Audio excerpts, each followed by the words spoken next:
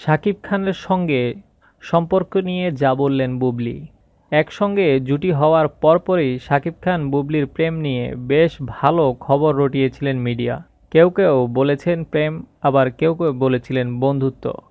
জুটি হওয়ার পর তারা একসঙ্গে শুটার ও বসগিরি নামের দুটি সুপারহিট ছবি দর্শকদের উপহার দিয়েছিলেন।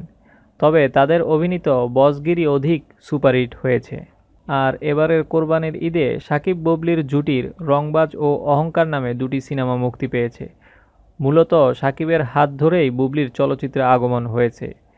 যতক্ষণ না পর্যন্ত সাকিব অপুর বিয়ের কথা মিডিয়া প্রকাশ না পেয়েছে, ঠিক ততদিন পর্যন্ত জনগণ একটা কথাই ভাবত যে সাকিবের সঙ্গে বুবলির হয়তো প্রেম হয়ে যাবে। আসলে কিন্তু ঠিক তা নয়। সত্যিটা জানিয়েছেন বুবলি নিজেই।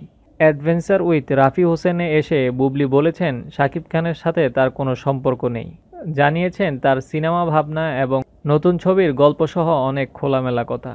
বুবলি বলেন সাকিব ভাই শুধু আমার একজন কলিগ, অর্থাৎ সহকর্মী, আর আমার জায়গায় অন্য কোনো নায়িকা থাকলে হয়তো এরকম ঘটনাই ঘটতো।